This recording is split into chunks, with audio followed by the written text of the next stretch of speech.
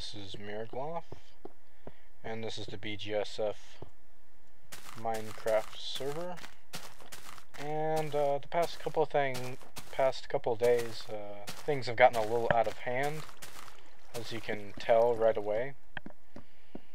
And the reason for that is there was a little bit of role playing, like uh, City Wars, uh, not actual like attacking.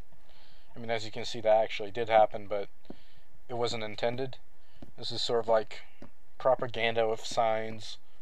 Someone from Ravine put up a sign over there with a blue flag saying that they claimed this NPC village as their territory.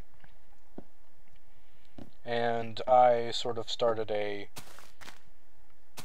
sort of an independence movement, which mainly consisted of just me putting up signs and messing with the ravine woods ravine hold sign at this village. And that was it, really. It was wasn't like uh, aggressive or uh, malicious. And you know, they asked me to stop changing the sign, and I stopped.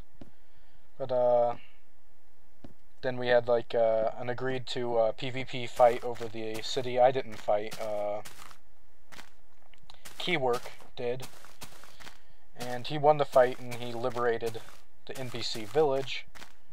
And uh, Texan Shasta, Shasta Texan agreed to uh, free the NPC village, and so I turned my old house into a memorial over the battle and the liberation.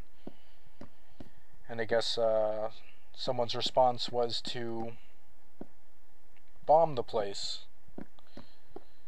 and bomb other people's houses. This place was already bombed.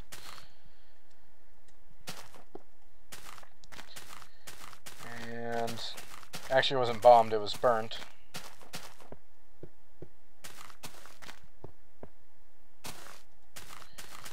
Uh, Rainier's place is okay.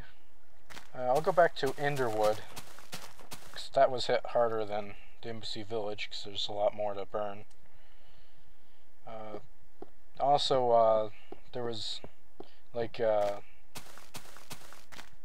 Ravinehold, you know, declared war on Enderwood, which is this spawn city, and it wasn't like a real war, it wasn't anything malicious or, like, hateful or anything, it was just for fun not even like physically to, not even to physically damage any property just like to put up signs and just a whole propaganda machine but not to actually grief anyone's houses. Someone took it too far though and uh, that person's been banned.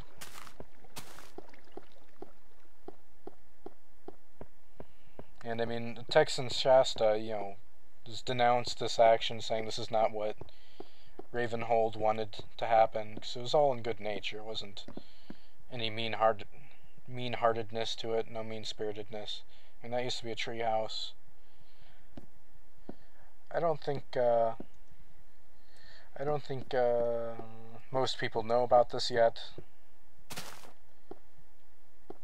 I mean, I only found out just a few minutes ago, and I'm not really mad about it because I didn't have anything important. It's kind of disappointing that someone would take it this take it to this sort of thing. I mean, it's it's clearly griefing.